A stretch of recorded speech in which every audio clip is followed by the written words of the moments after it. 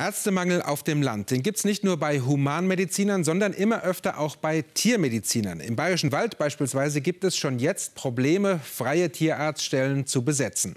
Eine Entwicklung, die sich bald auf ganz Bayern ausbreiten könnte, mit fatalen Folgen beispielsweise für die Landwirtschaft.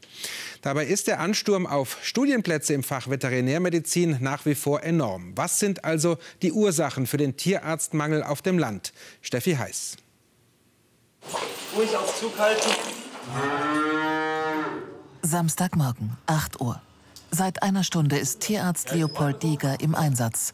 Ein Notfall. Das Kälbchen liegt quer im Mutterleib. Jetzt muss es schnell gehen. Jawohl, der Kopf ist durch, weiter.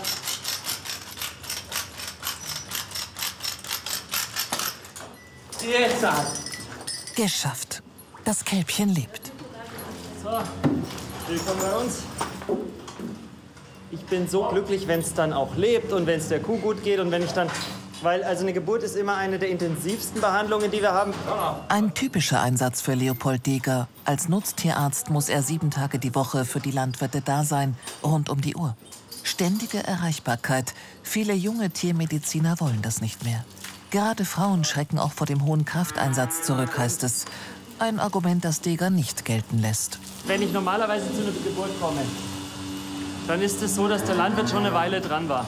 Und die Landwirte, die sind alle kräftiger als ich. Die sind alle Mehrkreuz. Ähm, Wenn es am Kraft alleine mangeln würde, dann hätte es schon längst funktioniert. Wenn ich komme, dann hat die Kraft eigentlich schon versagt. Ich habe eine Kollegin, die hätte es genauso gut hinbekommen. Die hat nur heute nicht Dienst. Trotzdem, die Zahl der niedergelassenen Nutztierärzte in Bayern sinkt seit Jahren.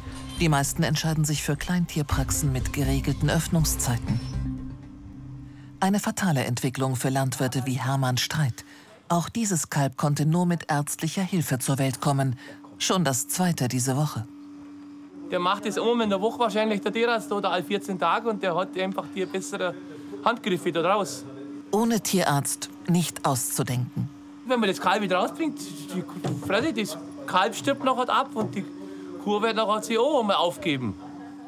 Weiter geht's zum nächsten Einsatz. Mit dabei ist heute auch Praktikantin Kara. Sie studiert Tiermedizin im vierten Semester. Für mich ist es unheimlich toll, einfach mal, ja, ich sag mal, ein bisschen Praxis zu, mitzukriegen und mal mit rauszukommen und auch mal zu sehen, wie das eigentlich später sozusagen ja, hier laufen wird. Also, gut. Eine Kuh muss besamt werden. Routinearbeit. Leopold Deger ist es wichtig, Studierenden immer wieder die Möglichkeit zu Oh, ist geben, ihm über die Schulter zu schauen. Er glaubt, viele haben heute einfach Berührungsängste. Die äh, Generation von meinem Chef waren die Tierärzte alle männlich, äh, selber aus einer Tierarztfamilie oder aus der Landwirtschaft kommend. Heutzutage ist es nicht so. Durch den Numerus Clausus sind es einfach Einser-AbiturientInnen, die da äh, reingeraten. Berührungsängste sind größer, weil viele aus der Stadt kommen. Viele Städter und ein Frauenanteil von 85 Prozent an den Unis. Wir fragen nach an der Tierärztlichen Fakultät in München. Die meisten hier stören vor allem die Arbeitsbedingungen. Natürlich möchte man ja eigentlich gerne irgendwie geregelte Arbeitszeiten mit haben und jetzt nicht, dass man sagt, äh, man fängt morgens um 8 an und hat dann eigentlich ähm, abends um 8 Schluss und steht dann aber noch bis um 11 in der Praxis. Das ist für mich, glaube ich, ein ganz großer Punkt. Das ist wirklich diese Anerkennung, dass es sich um Frauen handelt. Dass halt eine Frau irgendwann auch mal einen Kinderwunsch hat, dass das irgendwo vereinbar gemacht wird. Und noch ein Punkt schreckt die Studierenden ab. Die schlechte Bezahlung. Das empfohlene Einstiegsgehalt liegt bei 3.130 Euro brutto. In der Realität ist es oft noch deutlich niedriger. Die Landwirte können nichts an den Tieren ändern. Das ist einfach so. Wenn die Kuh in der Nacht gebärt, dann ist es so. Man muss dann halt auch zu späteren Stunden noch arbeiten und das muss dann halt auch dementsprechend honoriert werden. Eine bessere Bezahlung, dafür müsste die Gebührenordnung für Tierärzte reformiert werden. Für die ist das Bundeslandwirtschaftsministerium zuständig. Dort heißt es, man prüfe eine Novellierung der Gebührenordnung, die durch eine Anpassung der Entgelte für tierärztliche Leistungen die Attraktivität der Nutztierpraxis für Berufsanfänger wieder steigern sollte. Es könnte also mehr Geld geben. Wann steht nicht fest. Kurzer Zwischenstopp in der Praxis. Medikamente nachladen. Hier ist Leopold Deger seit vier Jahren angestellt. Sein Chef, Georg Scheidle, hat die Praxis zuvor 30 Jahre lang alleine geführt. Ich war eigentlich der typische Vertreter dieser Einzelkämpfer-Mentalität.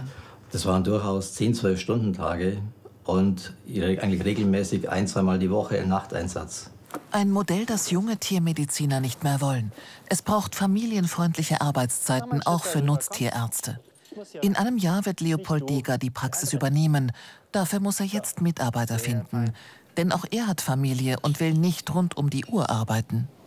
Ich wünsche mir sozusagen eine Zusammenarbeit in einer Praxis, wo man die, äh, die Nacht- und die, äh, auch die Mittagsdienste, die Sonntage äh, fair so verteilt, dass jeder mal ein Wochenende wegkommt, dass jeder weiß, heute Nacht werde ich nicht angerufen. Ich kann auch mein zweites Bier aufmachen, weil ich muss heute nicht mehr fahren. Das ist in Ordnung. Mittagspause für Leopold Deger. Pack mal's. Am Abend geht der Dienst weiter. Wenn bis dahin kein Notfall kommt.